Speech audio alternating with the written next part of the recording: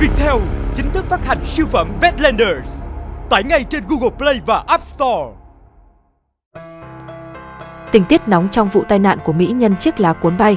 Năm người ngồi chung thuyền trình diện tại sở cảnh sát. Sau khi nữ diễn viên chiếc lá cuốn bay, Tăng Monida gặp tai nạn rơi xuống sông Chao dây ra vào đêm 24 tháng 2 vừa qua, cảnh sát nhanh chóng vào cuộc để điều tra vụ việc. Truyền thông Thái Lan đưa tin, sau khi vụ việc xảy ra, năm người đi chung với Tăng Monida trên chiếc thuyền này gần như bặt vô âm tín. Đáng nhẽ ra, năm người này phải có mặt tại sở cảnh sát vào chiều qua 25 tháng 2, thế nhưng họ đều không tới.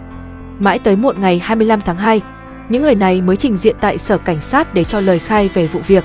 Những người này giải thích lý do không xuất hiện trước đó là do vẫn còn sốc và muốn gặp luật sư. Sau 3 giờ đồng hồ cho lời khai tại sở cảnh sát, một trong những người này đã có chia sẻ trước giới truyền thông. Người này được biết đến là một tỷ phú chuyên nhập khẩu ô tô và cũng là chủ nhân chiếc thuyền mà nữ diễn viên ngồi trước khi rơi xuống nước. Người này khẳng định đây là vụ tai nạn, họ không hề có ý định bỏ trốn. Vị tỷ phú này tiết lộ rằng trước khi rơi xuống nước, Tăng Mô đã cố gắng nắm vào chân người ngồi phía trước thế nhưng nữ diễn viên vẫn mất thăng bằng và rơi xuống sông. Ngay sau đó, người ngồi phía trước Tăng Mô đã hét lên thông báo việc nữ diễn viên rơi xuống nước. Người này cũng cho biết họ đã lái thuyền vòng đi vòng lại mấy tiếng đồng hồ với hy vọng tìm được Tăng Mô.